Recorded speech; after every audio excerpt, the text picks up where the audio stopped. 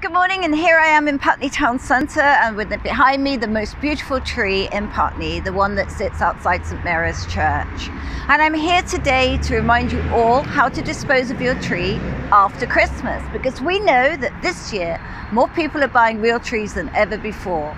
And it's a little known fact that Wandsworth Council collects more than 100,000 trees every year to turn them to compost. So it's important that we get this right.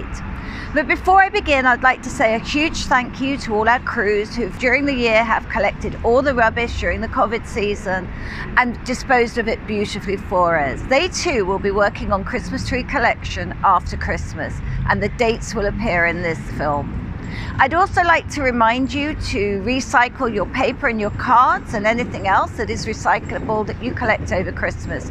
Or you could do what I do with your cards and make them into tags for next year. We always cut them up in our house and we find it a really fun thing to do. So, what do you do with your Christmas tree? After Christmas, when you want to get rid of it, during the window that we give you for it, you put it out with your rubbish on collection day. You put it in your front garden if you have a front garden, and if you do not have a front garden, just outside your property.